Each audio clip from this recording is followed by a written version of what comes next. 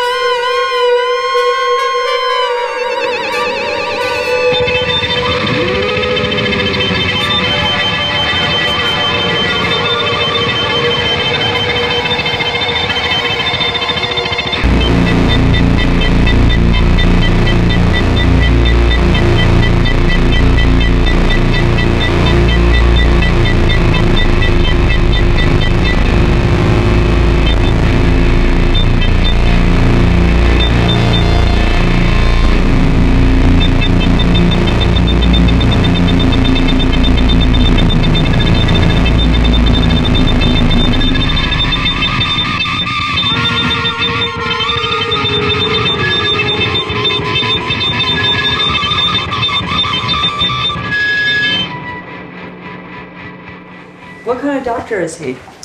Mystical science. Mystical science? Yeah.